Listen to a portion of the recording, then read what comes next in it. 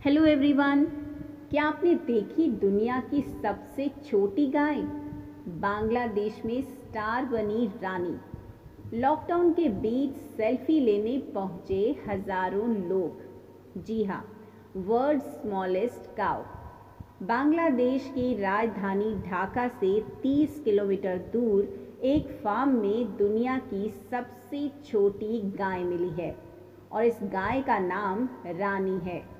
ये महज 20 इंच की हैं। जी हाँ बांग्लादेश में दुनिया की सबसे छोटी गाय मिली है। लॉकडाउन के बीच 20 इंच की रानी नाम की इस गाय को देखने के लिए हज़ारों लोग पहुँच रहे हैं। और इस गाय के मालिक का दावा है कि ये दुनिया की सबसे छोटी गाय है। Smallest cow.